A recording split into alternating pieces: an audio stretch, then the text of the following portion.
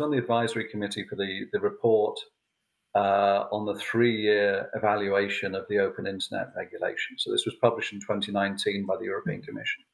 They should read that 550 page report and see whether that analysis across all European member states suggested that they need to make any radical adjustments to the open internet regulation. If they can't bring themselves to read that report, then they have no business amending the regulation if they're not willing to look at the evidence. That's less than it's three years old. The report, so it's very uh, it's, it's relatively recent in terms of this debate, and it's and it was a very exhaustive analysis of the open internet regulation, and it said it's working fine.